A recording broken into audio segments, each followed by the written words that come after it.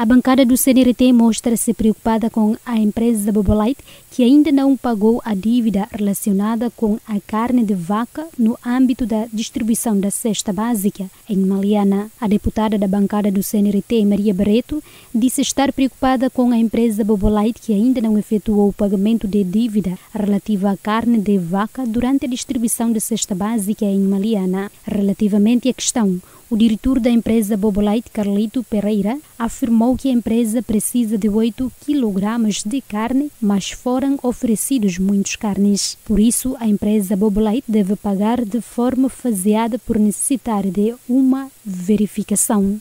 No entanto, a empresa efetuou já o pagamento aos cidadãos que ofereceram na semana passada carne de vaca no valor de 10 mil. Já a entidade empregadora transferiu mais esta segunda-feira 9.070 dólares americanos às distribuidoras de carne através do BNCTL. A empresa Bobolite implementa o programa da cesta básica no suco de Ritabou do município de Bobonaro, com 8 mil beneficiários.